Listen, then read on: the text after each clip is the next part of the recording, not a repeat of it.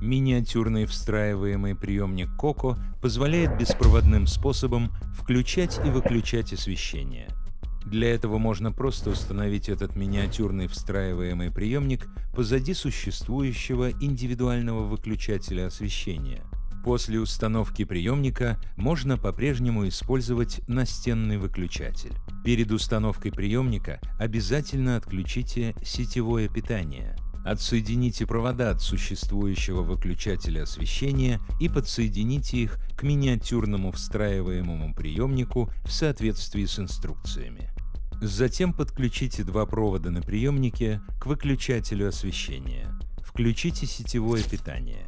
Управление этим приемником осуществляется беспроводным способом с помощью любого передатчика COCO, например, пульта дистанционного управления.